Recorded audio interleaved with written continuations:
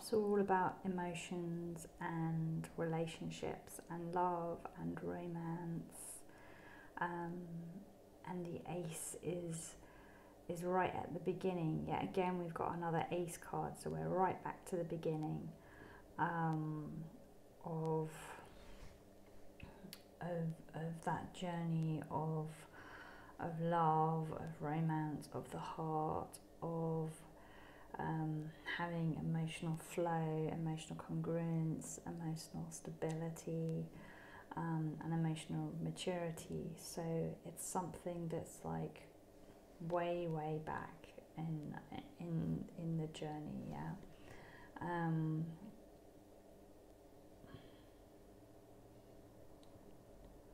and instantly, okay, every time I read the cards, I read something different in each card. Um, and um, I, I, I love that about the cards. I read them intuitively, not by the book. Um, and also, people do readings like that, and other people just do it strictly by the book. Okay, so um, if you've been following me for a while and you've seen me read cards and you've seen me read this card or a similar card to this with the, with the same symbols in it, um, I might have said something different. But this card to me today, yeah, um, says basically it's like um, you need to release something around your mother. Yeah, it's like we're looking at the cup and there's an upside down N in the cup. That's what that's saying to me right now. Yeah, it's not a W, it's an upside down M. And then all the tears are flowing out of the cup. So it's like something around your relationship with your mother. Yeah, whether that is the external relationship with your mother and your relationship with her today, um, or your relationship with her in the past um, or whether it is to do with your internal mother and the way that you speak to and treat yourself. That will be unique to you, and it may even be a combination of both, or it probably is a combination of both. Because if we have had problems with our mothers, um, or you know, we have problems with with that like key um, relationship in our lives, yeah, that's one of the building blocks of who we are, our personality and everything. It's a very formative and important relationship. If there's a problem there, if there was a problem there that hasn't been healed, then that means that the mother that you have inside of you won't have developed fully, and therefore you won't be able to mother yourself um, in in the best possible way. Yeah, you will be limited in your ability to mother yourself and parent yourself, and that could create all sorts of problems um, in life. So his card is basically saying uh, that um, that what you are carrying right now, what is kind of making you feel out of sorts or upsetting you um, in this moment right now, is something to do with your maternal core maternal relationship, whether that's external or internal, yeah.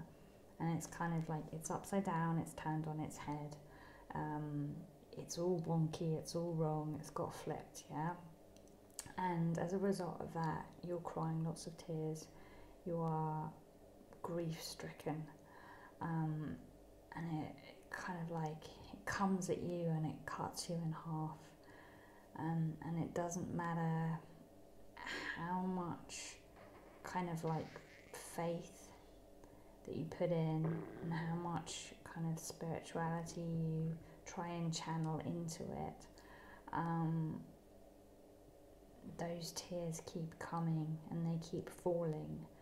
Um, so, like, the way through is is in surrendering. Yeah, you have to kind of like give this chalice over completely and utterly surrender it to the powers that be. Yeah, um, it's not it's not going to get healed by you consciously focusing on it.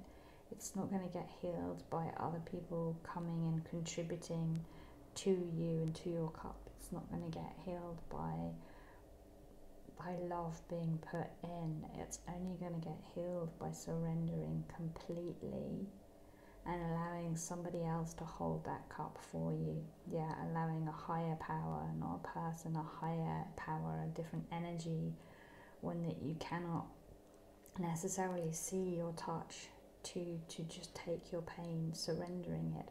And it's like if you're if you're religious and you're Christian, yeah, and then you can like expand this as a metaphor out to suit you.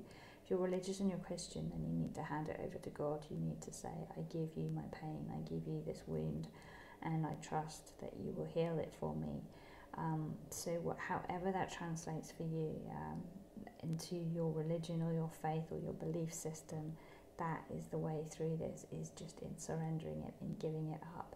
And if you do that, then the tears will cease to be destructive. They will cease to be cold and sharp like icicles. They will cease to wound you and they will instead fall down into a flowing river and this river will become beautiful and bountiful and it will produce flowers. Yeah, so it will grow new things, new life and will transform.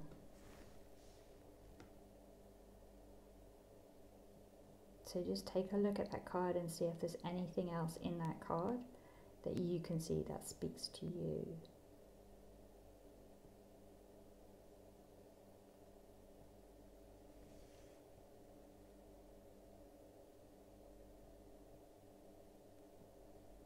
Seeing also that the energy that is going to come in and help you when you surrender is a soft energy. Yeah, it's a soft feminine energy and if it's or it's an older masculine energy. Yeah so it has lots of wisdom behind it and lots of healing within it. Um, and if you embrace that then the pain that you hold not just in your heart but also in your gut yeah the, the pain in your belly the the the issue with your intuition and in trusting yourself completely that will be resolved as this pain flows out of you yeah and it won't be refilled so at the moment you are refilling that pain on a daily basis over and over again, yeah, you are just refilling that that that cup, that goblet. But if you if you do the healing work by allowing another power greater than you to come in by surrendering and trusting and having faith that by falling into that pain, by falling into that grief, by falling into whatever that emotion is, and trusting that you won't fall apart, you won't break, it won't be the end of the world. You will you will move through it. It's like if you go into it fully and completely and with faith. Yeah, so whatever emotion has come up for you, you need to go into that emotion completely 100% yeah, without holding back, without being reserved, without trying to stifle it and shut it down, then you will then allow a greater power to come in and work through you to bring you healing. And that greater power could even be your higher self. It could be your guides, it could be your higher self, or it could be your your your God and you know whoever you see that as you know, your God could be the universe, it could be Mother Earth, it could be a spirit guide, an animal guide, you know, um, we're all different, we're all unique, and all of us have different different helpers and different belief systems. Um, so yeah, I hope that was helpful.